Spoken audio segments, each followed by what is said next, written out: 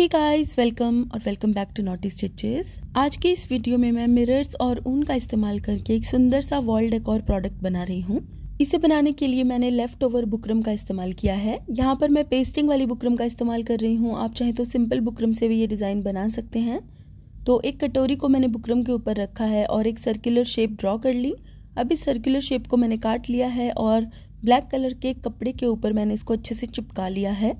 अब एक्स्ट्रा कपड़े के चारों तरफ़ हम छोटे छोटे कट्स लगाएँगे और एक फैब्रिक ग्लू की मदद से अब इन कट्स को हम बुकरम के ऊपर चिपका देंगे। मैंने इसके ऊपर फैब्रिक ग्लू का इस्तेमाल किया है। वैसे आप नॉर्मल फेविकॉल का इस्तेमाल भी कर सकते हैं क्योंकि बाद में हम इसको सिलाई लगा देंगे, जिससे पक्का हो जाएगा। तो इसी तरह की दो शेप्स मैंने बनाकर तैयार की और अब यहाँ पर मैंने ली है येलो कलर की ऊन। इस तरह से हमें मशीन में इस ऊन को यूज़ करना है।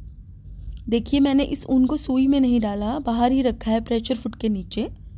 सुई में मैंने नॉर्मली जैसे धागा डालते हैं, बिल्कुल उसी तरह धागा डाला है। और जो राउंड शेप्स हमने तैयार करके रखी थी, उनके ऊपर मैंने इस तरह से इस ऊन को स्टिच कर दिया है। सीधी सीधी लाइंस मैंने ऊन से बना ली हैं। अब हम दूसरे डायरेक्शन में भी इसी तरह सीधी सीधी लाइंस बनाएँगे। आप चाहे तो ऊन की जगह एंकर थ्रेड का इस्तेमाल भी कर सकते हैं, लेकिन एंकर थ्रेड आपको मशीन में नीचे बॉबिन में भरना होगा।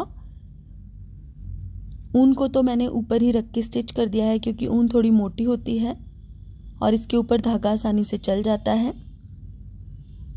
ये देखिए। इस तरह से ये सुंदर सा पैटर्न बनकर तैयार हो गया है। अब हमें इसके बीच में डोरी लगानी है। तो डोरी रख के हम दोनों को एक दूसरे के ऊपर इस तरह रख देंगे, दोनों राउंड शेप्स को। और अब इसके चारों तरफ़ हम सिलाई लगा देंगे। एक्स्ट्रा धागे को हमें काट देना है। और अब इसके ऊपर हमें एक लेस अटैच करनी है। तो मेरे पास यहाँ मिरर वाली लेस पड़ी हुई है। इसी में से मैं इसका ट्रायंगुलर भाग काट के निकाल लूँगी। इस तरह। और अब इस लेस को मैं इस सर्कुलर शेप के चारों तरफ़ फैब्रिक ग्लू की मदद से अटैच करूँगी।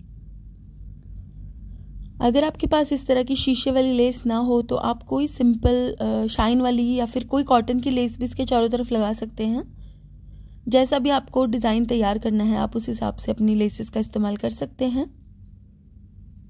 ये देखिए, मैंने इस तरह से चारों तरफ़ लेस को अच्छे से चिपका दिया है। और ग्लू के सूखने के बाद ये बिल्कुल मजबूती से अटैच हो जाएगी इसके ऊपर।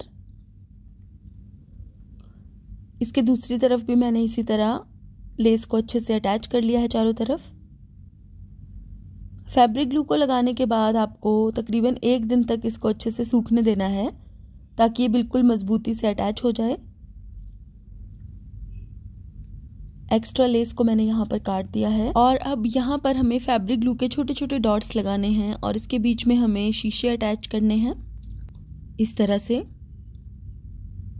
थोड़ी थोड़ी फैब्रिक ग्लू मैंने यहाँ पर लगा ली है। और गोल वाले शीशे मैंने लिए हैं थोड़े मीडियम साइज़ के। और इस तरह से मैंने इन शीशों को अच्छे से अटैच कर दिया है। तो अब हम इन शीशों को अटैच करने के बाद अच्छे से सुखा लेंगे और उसके बाद हम इसके ऊपर लगाएँगे टेसल्स तो वो शीशे मैंने अच्छे से लगा दिए हैं। अब मैंने ऊन से ही टेसल्स बनाए हैं। तो इस तरह हाथ के ऊपर ही मैंने ऊन को घुमा लिया है। तकरीबन 20 बार मैंने इस ऊन को इस तरह घुमाया है। और अब हमें इसके ऊपर एक गांठ लगानी है ऊन से ही। इस तरह। यहाँ पर मैंने एक नॉट लगा दी है। बिल्कुल अच्छे से, मजबूती से हमें इसको बाँध देना है। और जितना भी लंबा आपको धागा चाहिए, उतना काट लेना है। अब ऊन का एक और टुकड़ा लेना है। और इसके ऊपर की तरफ़ हमें इसको अच्छे से बाँध देना है। इस तरह। अब इस तरह ऊन को लपेटने के बाद इसको हम अच्छे से बाँध देंगे ताकि ये खुले ना। इस तरह। और अब हम नीचे से इसको काट के टेसल की शेप बना देंगे।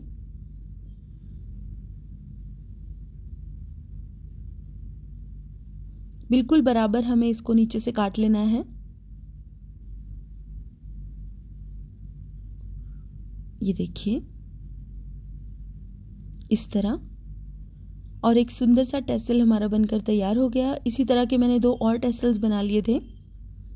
और अब इस तरह से फैब्रिक ग्लू या फिर ग्लू गन की मदद से हमें यहाँ पर इसको अटैच कर देना है। आप चाहे तो सुई धागे से भी इसको अटैच कर सकते हैं।